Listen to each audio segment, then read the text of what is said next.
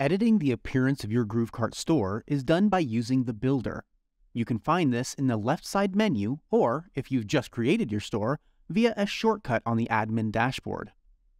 First, at any time while editing your store's appearance, you can use the buttons at the top to preview how the page looks on a variety of devices.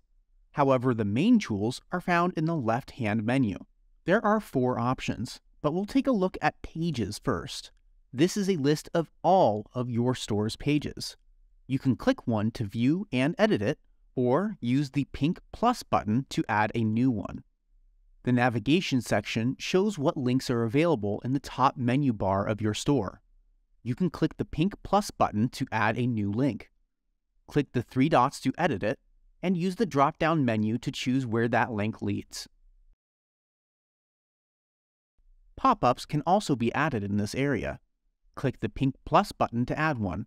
There are a few options here, but primarily you'll want to ensure you title it and choose a target from the drop-down menu, which is when the pop-up appears and where.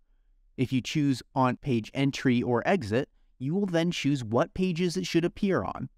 Click the pink checkmark to save it. To edit the appearance of your pop-up, you'll click the title. Let's take a look at the themes. My themes are for themes you have previously used and saved. This allows for you to quickly switch your store's appearance without the need for editing every page, in the event of things like holidays and sales. Clicking Basic will reveal a number of templates available for you to use and edit. When choosing a template, you are given the option to save the one you are leaving behind. If you want to save it, choose a category and a name for your previous template, and click Save. Next are the settings. There are three settings available, Page, SEO, and templates. Page settings are specific to the page you are currently viewing. SEO settings are for preview text for search engines, tracking codes you might want to embed, and preview content for social media sites. Templates are individual page templates. Rather than importing a theme for your entire store, you can use a template to change a single page. Specifically, this will change the page you are currently viewing. To add new elements to the pages themselves, you will use the top Add New button. There are two items here, blocks and elements.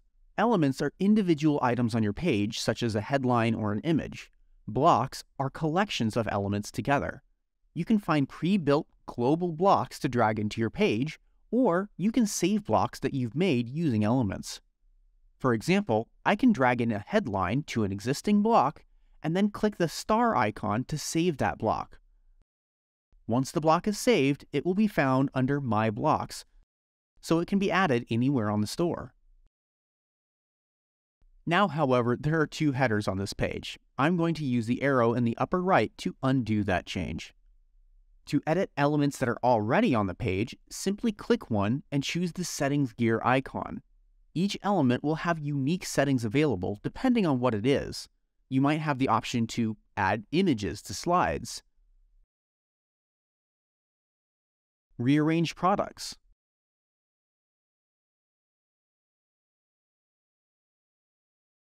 or choose where a button links. Whatever changes you decide to make on your page, it is crucial to remember to click Save in the upper right when you're done.